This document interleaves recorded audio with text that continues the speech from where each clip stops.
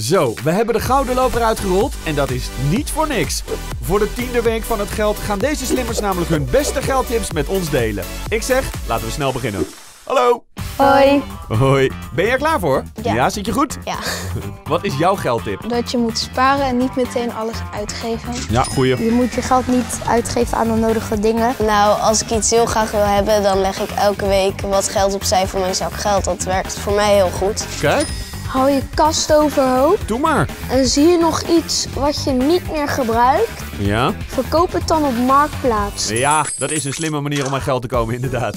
Oké, kom op jongens. We hebben even een dilemma voor jullie. Wat vind jij? Een jaar geen internet of een jaar geen geld? Die is lastig, hè? Je moet kiezen. Eh, een jaar geen geld. Een jaar geen internet. Auw. Een jaar geen geld. Dus liever internet en je ouders gewoon de rest laten betalen. Ja. Ja. Ja, dat dacht ik al. Oké, we vroegen nog wat andere mensen om hun tips. Mijn gouden tip ehm, is om met je ouders te winkelen en shoppen, want die gaan dan voor je betalen. Vind ik een goed idee. Toen ik jonger was, kocht ik altijd snoep. En dat was eigenlijk heel veel geld dat ik verspilde. Dus mijn tip is om te kopen wat je meerdere jaren kan gebruiken. Ja.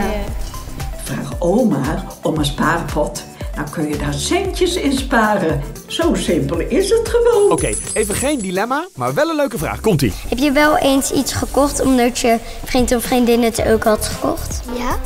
En wat dan? Slijm? Nee, niet dat ik weet. Eerlijk? Nee, nee. Echt niet?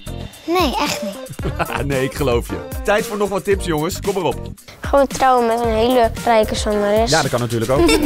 Ik zou een eh, bedrijfje opstarten. Oh, zo zo. Als je geld krijgt voor je verjaardag, zet het op je bankrekening voor later voor je studie.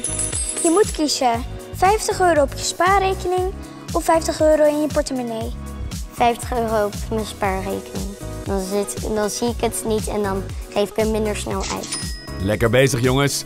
Tijd voor nog twee laatste tips. Als je iets koopt, denk eerst goed na of je het echt nodig hebt. En doe je dat dan ook? Bijna altijd wel. Ja, ja. De beste tip om geld te sparen is klusjes te doen en niet meteen iets te kopen. Hoppa, in de pocket.